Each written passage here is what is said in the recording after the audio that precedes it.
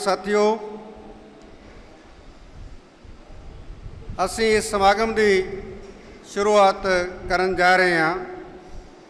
ਤਾਂ ਅੱਜ ਦੇ ਸਮਾਗਮ ਵਿੱਚ ਇਸ ਸਮਾਗਮ ਦੀ ਰਹਿਨਮਾਈ ਕਰ ਰਹੇ, ਅਗਵਾਈ ਕਰ ਰਹੇ ਰਾਸ਼ਟਰੀ ਮੂਲ ਭਾਰਤੀ ਚਿੰਤਨ ਸੰਘ ਦੇ ਰਾਸ਼ਟਰੀ ਪ੍ਰਧਾਨ ਪ੍ਰੋਫੈਸਰ ਗੁਰਨਾਮ ਸਿੰਘ ਮੁਕਤਸਰ ਜੀ ਨੂੰ ਮੈਂ ਬੇਨਤੀ ਕਰਾਂਗਾ ਕਿ ਉਹ ਬਾਬਾ ਸਾਹਿਬ ਨੂੰ ਫੁੱਲ ਅਰਪਣ ਕਰਨ ਉਪਰੰਤ ਮੰਚ ਤੇ ਆਪਣਾ ਸਥਾਨ ਲੈਣ ਦੀ ਖੇਚਲ ਕਰਨ, ਉਹਨਾਂ ਨਾਲ ਸੁਖਦਰਸ਼ਨ ਸਿੰਘ ਕੋੜਪੁਰਾ ਜੋ ਰਾਸ਼ਟਰੀ ਮੂਲ ਭਾਰਤੀ ਚਿੰਤਨ ਸੰਘ ਦੇ ਪੰਜਾਬ ਦੇ ਪ੍ਰਧਾਨ ਹਨ, ਸ਼੍ਰੀ ਰਾਮ ਜੀ ਬਲਾਚੌਰ ਤੋਂ ਪਹੁੰਚੇ ਹੋਏ ਹਨ। ਉਹਨਾਂ ਨੂੰ ਵੀ ਬੇਨਤੀ ਹੈ ਕਿ ਉਹ ਮੰਚ ਤੇ ਆਸੀਨ ਹੋਣ ਦੀ ਖੇਚਲ ਕਰਨਗੇ।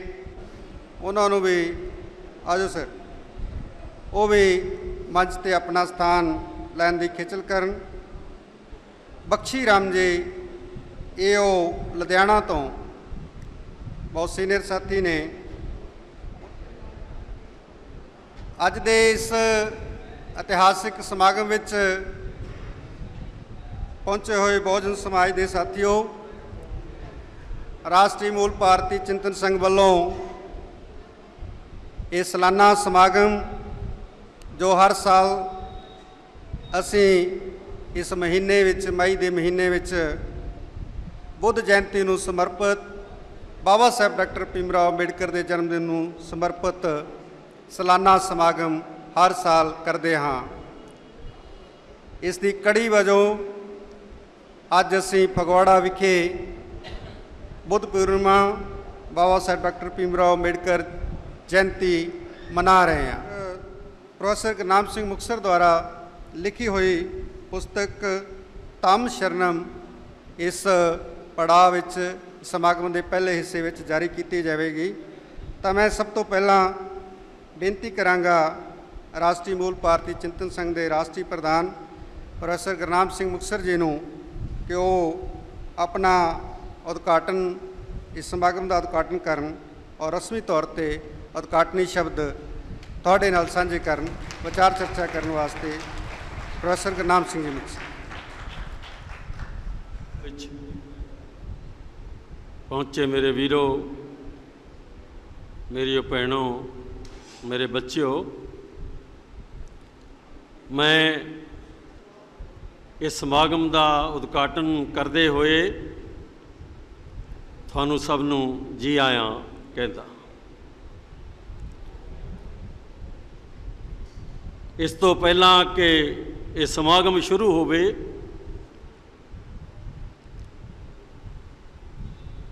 ਸਾਡਾ ਅਗਲਾ ਸਾਰਾ ਕਾਰਜਕ੍ਰਮ ਸ਼ੁਰੂ ਹੋਵੇ ਕੁਝ ਗੱਲਾਂ, ਜ਼ਰੂਰੀ ਗੱਲਾਂ ਮੈਂ ਤੁਹਾਡੇ ਨਾਲ ਸਾਂਝੀਆਂ ਕਰਨੀਆਂ ਚਾਹੂੰਗਾ। ਇਹ ਇੱਕ ਵਿਸ਼ੇਸ਼ ਸੰਮੇਲਨ ਹੈ। ਮੇਰੇ ਜੀਵਨ ਦਾ ਇੱਕ ਬਹੁਤ ਮਹੱਤਵਪੂਰਨ ਸੰਮੇਲਨ ਹੈ 35 ਸਾਲ ਤੋਂ ਜੋ ਸੰਘਰਸ਼ ਕਰਦੇ ਤੁਰੇ ਆ ਰਹੇ ਆ, ਅਗਰ ਸਹੀ ਕਹਾਂ ਤਾਂ 45 ਸਾਲ ਦਾ ਮੇਰੇ ਜੀਵਨ ਦਾ ਸੰਘਰਸ਼ ਅੱਜ ਇਸ ਪੜਾਅ 'ਚ ਪਹੁੰਚ ਗਿਆ ਹੈ। ਔਰ ਮੈਂ ਤੁਹਾਨੂੰ ਇਹ ਸੂਚਨਾ ਦੇਣੀ ਚਾਹੂੰਗਾ ਕਿ ਭਾਰਤ ਦੇ ਇਤਿਹਾਸ 'ਚ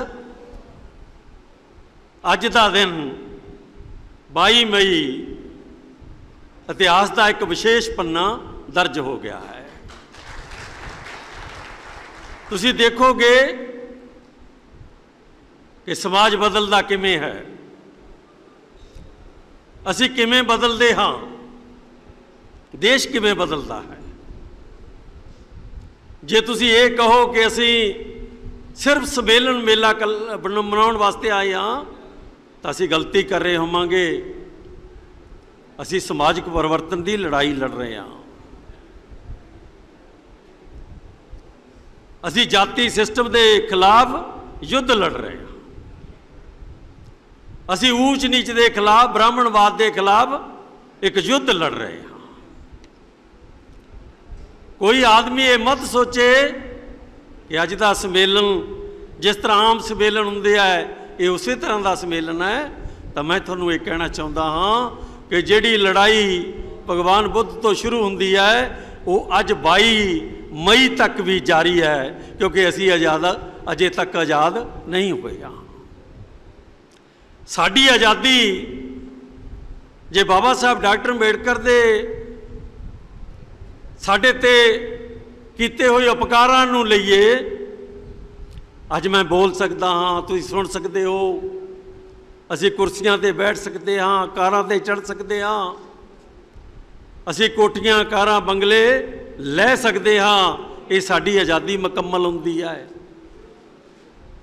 ਅਸੀਂ ਵੋਟ ਪਾ ਸਕਦੇ ਹਾਂ, ਕਲਰਕ ਬਣ ਸਕਦੇ ਹਾਂ ਆਈਐਸ ਬਣ ਸਕਦੇ ਹਾਂ ਆਈਪੀਐਸ ਬਣ ਸਕਦੇ ਹਾਂ ਐਮਐਲਏ ਐਮਪੀ ਤੇ ਮੰਤਰੀ ਬਣ ਸਕਦੇ ਹਾਂ। ਸਾਡੀ ਆਜ਼ਾਦੀ ਇੱਥੋਂ ਤੱਕ ਪਹੁੰਚ ਗਈ ਹੈ। ਪਰ ਜਿੱਥੋਂ ਤੱਕ ਇਸ ਦੇਸ਼ ਦੇ ਬਹੁਜਨ ਦੀ ਆਜ਼ਾਦੀ ਦਾ ਮਸਲਾ ਹੈ ਅਸੀਂ ਅੱਜ ਤੱਕ ਵੀ ਕਿਸੇ ਦੇ ਬਰਾਬਰ ਨਹੀਂ ਹੋਏ ਹਾਂ। ਸਾਡਾ ਮਸਲਾ ਬਰਾਬਰ ਹੋਣ ਦਾ ਹੈ। ਇਸ ਦੇਸ਼ ਦੇ ਜਾਤੀਵਾਦ ਨੇ, ਇਸ ਦੇਸ਼ ਦੇ ਬ੍ਰਾਹਮਣਵਾਦ ਨੇ, ਇਸ ਦੇਸ਼ ਦੀ ਵਰਣ ਵਿਵਸਥਾ ਨੇ 3000 ਸਾਲ ਪਹਿਲਾਂ ਜਿਸ ਥਾਂ ਤੇ ਲਿਆ ਕੇ ਸਾਨੂੰ ਸੁੱਟਿਆ, ਅਜੇ ਵੀ ਅਸੀਂ ਉੱਥੇ ਦੇ ਉੱਤੇ ਖੜੋਤੇ ਆਂ ਸਾਡੀਆਂ ਕੋਠੀਆਂ, ਸਾਡੀਆਂ ਕਾਰਾਂ ਸਾਡੇ ਬੰਗਲੇ, ਸਾਡੀਆਂ ਵੱਡੀਆਂ ਵੱਡੀਆਂ ਸਹੂਲਤਾਂ, ਇਹ ਪਗੜੀਆਂ, ਇਹ ਚੰਗੇ ਸੂਟ, ਇਹ ਚੰਗੀਆਂ ਟਾਈਆਂ ਔਰ ਚੰਗੇ ਘਰ, ਚੰਗੇ ਪਹਿਰਾਵੇ, ਸਾਡੀ ਬਰਾਬਰੀ ਨਹੀਂ ਮਿੱਥਦੇ। ਬਰਾਬਰੀ ਹੋਰ ਚੀਜ਼ ਹੈ, ਜ਼ਿੰਦਗੀ ਦੀਆਂ ਸਹੂਲਤਾਂ ਹੋਰ ਚੀਜ਼ ਹੈ, ਤਾਂ ਮੈਂ ਤੁਹਾਨੂੰ ਇਹ ਕਹਿਣਾ ਚਾਹੂੰਗਾ ਮੈਂ ਸਿਰਫ 10 ਮਿੰਟ ਬੋਲਣਾ ਹੈ। ਮੈਂ 10 ਮਿੰਟ 'ਚ ਇੱਕੋ ਹੀ ਗੱਲ ਕਹਿਣੀ ਚਾਹੁੰਦਾ ਹਾਂ ਕਿ ਅਸੀਂ ਬਰਾਬਰੀ ਦੀ ਲੜਾਈ ਲੜ ਰਹੇ ਹਾਂ। ਔਰ ਇਹ ਲੜਾਈ ਅਸੀਂ ਜਿੱਤਣੀ ਹੈ। ਅੱਜ ਨਹੀਂ ਤਾਂ ਕੱਲ ਜਿੱਤਾਂਗੇ। ਅਸੀਂ ਨਹੀਂ ਜਿੱਤਾਂਗੇ ਤਾਂ ਸਾਡੇ ਬੱਚੇ ਜਿੱਤਣਗੇ। ਔਰ ਇਹ ਲੜਾਈ ਜਿੱਤੇ ਬਿਨਾ ਅਸੀਂ ਇਨਸਾਨਾਂ 'ਚ ਸ਼ਾਮਲ ਨਹੀਂ ਹੁੰਦੇ। ਜਦ ਤੱਕ ਅਸੀਂ ਆਦਮੀ ਦੇ ਬਰਾਬਰ ਨਹੀਂ ਆ ਅਸੀਂ ਇਨਸਾਨ ਨਹੀਂ ਬਣਦੇ, ਤਾਂ ਸਾਡੀ ਹਾਲਤ ਪਸ਼ੂਆਂ ਦੇ ਵਰਗੀ ਹੈ। ਤਾਂ ਮਿੱਤਰੋ, ਅੱਜ ਦਾ ਇਸ ਮੇਲਨ ਉਸ ਆਜ਼ਾਦੀ ਦੀ ਲੜਾਈ ਹੈ, ਜਿਹੜਾ ਮਨੁੱਖ ਨੂੰ ਬਰਾਬਰ ਕਰਦਾ ਹੈ। ਔਰ ਜਦ ਤੱਕ ਬਰਾਬਰੀ ਨਹੀਂ ਹੈ, ਇਹ ਸਮਾਜਿਕ ਪਰਿਵਰਤਨ ਦੀ ਲੜਾਈ ਜਾਰੀ ਰਹਿਣੀ ਹੈ। ਮੈਂ ਇਹ ਸੰਦੇਸ਼ ਦੇਣਾ ਚਾਹੁੰਦਾ ਹਾਂ। ਮੇਰਾ ਦੂਸਰਾ ਸੰਦੇਸ਼ ਇਹ ਹੈ ਕਿ ਕੁੰਭ ਦੇ ਮੇਲੇ ਤੇ 10 ਕਰੋੜ ਲੋਕ ਪਹੁੰਚਦੇ ਆ। ਗੰਗਾ ਦੇ ਸੜੇ ਤਰੱਕੇ ਪਾਣੀਆਂ 'ਚ ਨਹਾਉਣ ਵਾਸਤੇ 10 ਕਰੋੜ ਲੋਕ ਪਹੁੰਚਦੇ ਆ। ਕਦੀ ਅਨੰਦਪੁਰ ਸਾਹਿਬ ਮੇਲਾ ਹੁੰਦਾ ਹੈ, ਤਾਂ ਕਰੋੜ ਕਰੋੜ ਲੋਕ ਪਹੁੰਚਦੇ ਆ। ਕਦੀ ਦਰਬਾਰ ਸਾਹਿਬ 'ਚ ਮੇਲਾ ਹੁੰਦਾ ਹੈ, ਤਾਂ ਕਰੋੜਾਂ ਲੋਕ ਪਹੁੰਚਦੇ ਆ। ਔਰ ਕਦੇ ਮੱਕਾ ਮਦੀਨਾ ਦੇ ਵਿੱਚ ਜਦੋਂ ਮਨੁੱਖ ਜਾਂਦੇ ਆ, ਪੂਰੀ ਦੁਨੀਆ ਦੇ ਅਰਬਾਂ ਲੋਕ ਉੱਥੇ ਹੁੰਦੇ ਆ। ਮਿੱਤਰੋ, ਮੇਰੇ ਸਾਹਮਣੇ ਤੁਸੀਂ 5-600 ਆਦਮੀ ਬੈਠੇ ਹੋ। ਮੈਂ ਤੁਹਾਨੂੰ ਬੇਨਤੀ ਕਰਨਾ ਚਾਹੁੰਦਾ ਹਾਂ ਕਿ ਇਹ ਤੁਹਾਡੀ ਸਭਾ ਹੈ। ਇਹ ਤੁਹਾਡੀ ਆਜ਼ਾਦੀ ਦੀ ਜੰਗ ਹੈ। ਅਗਰ 10 ਕਰੋੜ ਲੋਕ ਵਿਵਸਥਾ ਬਣਾ ਕੇ ਰੱਖਦੇ ਐ, ਅਗਰ ਅਰਬਾਂ ਲੋਕ ਵਿਵਸਥਾ ਬਣਾ ਕੇ ਰੱਖਦੇ ਐ, ਅਗਰ ਆਨੰਦਪੁਰ ਪਹੁੰਚੇ ਹੋਏ ਲੱਖਾਂ ਲੋਕ ਵਿਵਸਥਾ ਬਣਾ ਕੇ ਰੱਖਦੇ ਐ, ਤਾਂ ਮੈਂ ਤੁਹਾਨੂੰ ਬੇਨਤੀ ਕਰੂੰਗਾ ਕਿ ਸ਼ਾਮ ਦੇ 5 ਵਜੇ ਤੱਕ ਤੁਸੀਂ ਇੱਜ਼ਤ ਮਾਣ ਤੇ ਸਨਮਾਨ ਦੀ ਵਿਵਸਥਾ ਬਣਾ ਕੇ ਰੱਖਣੀ ਹੈ ਔਰ ਉਸ ਤੋਂ ਬਾਅਦ ਮੈਂ ਤੁਹਾਡੇ ਸਾਹਮਣੇ ਇੱਕ ਸਵਾਲ ਰੱਖਣਾ ਚਾਹੁੰਦਾ ਹਾਂ ਕਿ ਅੱਜ ਅਸੀਂ ਬਹੁਤ ਸਾਰੇ ਸਾਥੀਆਂ ਦਾ ਸਨਮਾਨ ਕਰਾਂਗੇ। ਲੋਕਾਂ ਦੇ ਦਿਮਾਗ 'ਚ ਇਸ ਤਰ੍ਹਾਂ ਆਉਂਦਾ ਹੈ ਕਿ ਸਨਮਾਨ ਕਰਨਾ ਕੋਈ ਖਾਸ ਗੱਲ ਨਹੀਂ ਹੁੰਦੀ। ਕਿਸੇ ਨੂੰ ਮੋਮੈਂਟੋ ਦੇ ਦੇਣਾ, ਕਿਸੇ ਨੂੰ ਲੋਈ ਦੇ ਦੇਣੀ, ਕਿਸੇ ਦੇ ਗਲ 'ਚ ਹਾਰ ਪਾ ਦੇਣਾ ਕੋਈ ਬਹੁਤ ਵੱਡੀ ਗੱਲ ਨਹੀਂ ਹੁੰਦੀ ਹੈ। ਪਰ ਮੈਂ ਤੁਹਾਨੂੰ ਇਹ ਕਹਿਣਾ ਚਾਹੁੰਦਾ ਹਾਂ ਕਿ ਤੁਸੀਂ ਉਹ ਲੋਕ ਹੋ ਜਿਹੜੇ 3000 ਸਾਲ ਤੋਂ ਬ੍ਰਾਹਮਣਵਾਦੀ ਵਿਵਸਥਾ 'ਚ, ਜਾਤੀ ਵਿਵਸਥਾ 'ਚ ਅਪਮਾਨ ਸਹਿ ਰਹੇ। ਦੁਰਗਤੀ ਹੁੰਦੀ ਹੈ ਤੁਹਾਡੀ।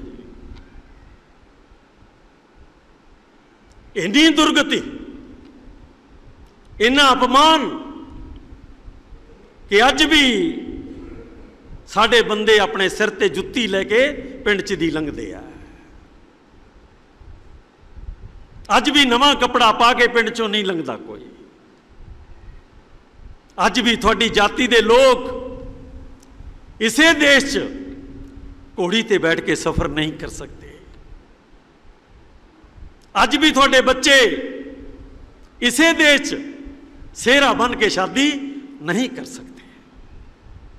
ਅੱਜ ਵੀ ਇਸ ਦੇਸ਼ 'ਚ ਸਕੂਲ ਦਾ ਤੁਹਾਡਾ ਕੋਈ ਬੱਚਾ ਸਕੂਲ ਦੇ ਨਲਕੇ ਤੇ ਪਾਣੀ ਪੀਣ ਵਾਸਤੇ ਹੱਥ ਲਾ ਦਿੰਦਾ ਹੈ ਤਾਂ ਉਹਨੂੰ ਮਾਰ ਦਿੱਤਾ ਜਾਂਦਾ ਹੈ। ਇੰਨਾ ਅਪਮਾਨ ਹੁੰਦਾ ਹੈ ਤੁਹਾਡਾ।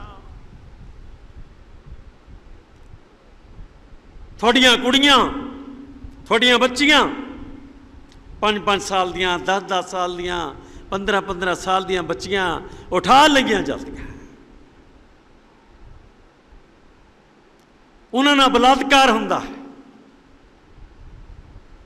ਤੇ ਸਵੇਰ ਨੂੰ ਮਾਰ ਕੇ ਉਹਨਾਂ ਨੂੰ ਰੁੱਖਾਂ ਨਾਲ ਟੰਗ ਦਿੱਤਾ ਜਾਂਦਾ ਹੈ। ਇੰਨਾ ਅਪਮਾਨ ਹੁੰਦਾ ਹੈ ਤੁਹਾਡਾ। ਤੁਸੀਂ ਕਹਿੰਦੇ ਪੰਜਾਬ 'ਚ ਇਹ ਕੁਝ ਨਹੀਂ ਹੁੰਦਾ। ਅਜੇ 15 ਦਿਨ ਪੁਰਾਣੀ ਘਟਨਾ ਹੈ। ਮਲੋਟ ਸ਼ਹਿਰ ਦੀ ਕਿ ਸਾਡੀ ਕੁੜੀ ਦਫ਼ਤਰ 'ਚੋਂ ਨਿਕਲੀ, ਸ਼ਰੇਆਮ ਸੜਕ ਦੇ ਉੱਤੋਂ ਉਠਾ ਕੇ ਲੈ ਗਏ।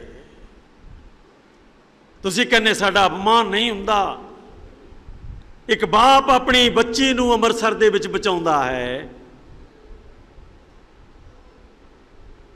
ਔਰ ਉਸ ਬਾਪ ਨੂੰ ਗੋਲੀ ਮਾਰ ਦਿੱਤੀ ਜਾਂਦੀ ਹੈ, ਜਦੋਂ ਕਿ ਬਾਪ ਥਾਣੇਦਾਰ ਹੈ। ਤੁਸੀਂ ਕਹਿੰਦੇ ਪੰਜਾਬ 'ਚ ਅਪਮਾਨ ਨਹੀਂ ਹੁੰਦਾ। ਤਾਂ ਮੈਂ ਮਿੱਤਰੋ, ਇਹ ਕਹਿਣਾ ਚਾਹੁੰਦਾ ਹਾਂ ਕਿ ਜਿਨ੍ਹਾਂ ਦਾ ਹਜ਼ਾਰਾਂ ਸਾਲ ਤੋਂ ਅਪਮਾਨ ਹੁੰਦਾ ਆਇਆ ਹੈ, ਅਸੀਂ ਉਹਨਾਂ ਦਾ ਅੱਜ ਸਨਮਾਨ ਕਰਾਂਗੇ।